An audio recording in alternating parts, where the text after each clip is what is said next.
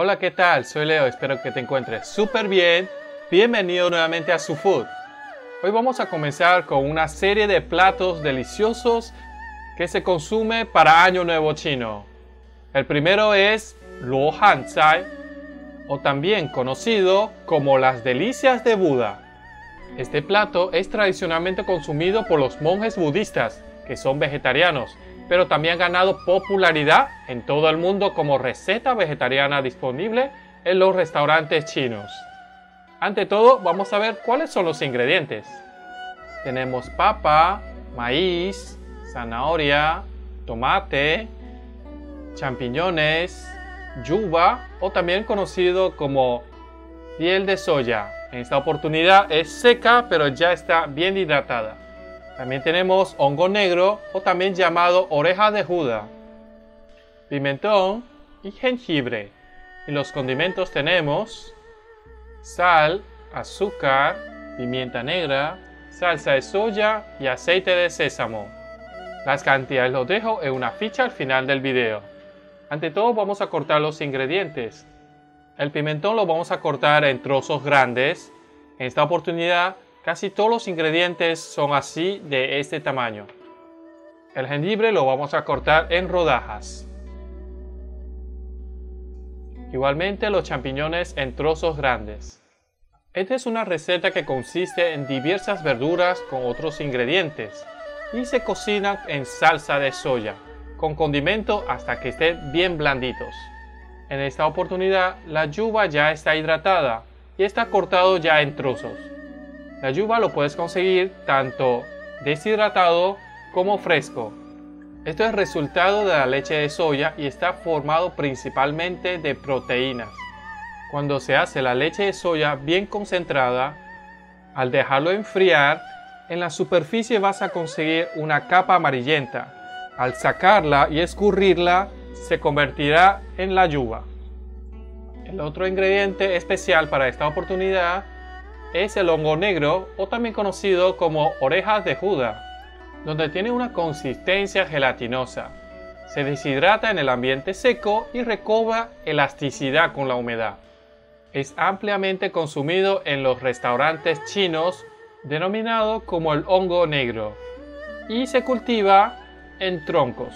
Generalmente se consume frito, en ensaladas o en sopas según lo que he investigado, tiene propiedades antibióticas y antiinflamatorias. Una vez que tengamos todo listo, entonces encendemos el fuego. En un sartén hondo vamos a colocar un poco de aceite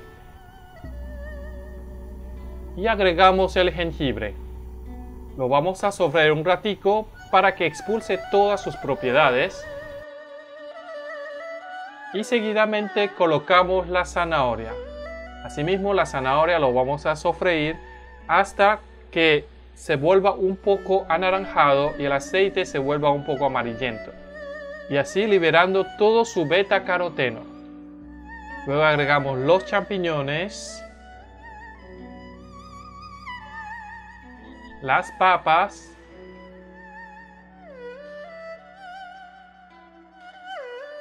el hongo negro con el pimentón,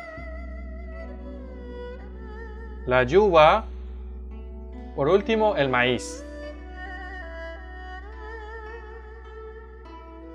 Luego agregamos los condimentos, sal,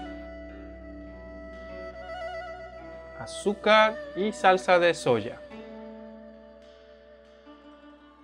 Agregamos un aproximado de media taza de agua, lo acomodamos bien, lo tapamos por unos 5 minutos aproximadamente. Pasado el tiempo nos damos cuenta que todo ya está bien cocido. Entonces vamos a agregar el tomate. Lo vamos a revolver bien. Y colocamos la pimienta. Seguidamente el aceite de sésamo. Lo revolvemos nuevamente. Cuando esté bien uniforme estará listo. Nuestro primer plato para Año Nuevo Chino. Luo Zai o las delicias de Buda. Este plato es algo simbólico para Año Nuevo, ya que simboliza la abundancia. Siempre es preparado con hongo chino hongo negro y yuba, especialmente la yuba. La yuba en chino se lee fu zu y la abundancia se dice fu zu. Entonces son pronunciaciones muy parecidas, lo que quiere simbolizar entonces abundancia. Además, es un plato que siempre se prepara de manera vegetariana y con muchos, muchos ingredientes. Entonces simboliza tener un comienzo de año con mucha prosperidad y mucha salud. Y bien, esto ha sido todo por hoy. Antes de finalizar, veamos las cantidades de los ingredientes. Para las delicias de Buda, Luo Hanzai, tenemos una unidad de tomate, una unidad de maíz, 70 gramos de zanahoria, 180 gramos de papa, 120 gramos de champiñones, 60 gramos de pimentón, 100 gramos de yuba, 40 gramos de hongo negro, 5 gramos de jengibre, una cucharita de sal, una cucharita de aceite, pimienta al gusto, 2 cucharadas de salsa de soya y una cucharada de aceite de sésamo. Para el próximo video vamos a compartir otro plato delicioso para Año Nuevo Chino. No te lo pierdas. Si te gustó este video, te invito a suscribirte. Activa la campanita para que no te pierdas de ningún video nuevo. Dale like, deja un comentario aquí abajo de qué tal te pareció. Comparte con tus familiares y amigos y nos vemos para la próxima. Chao, chao.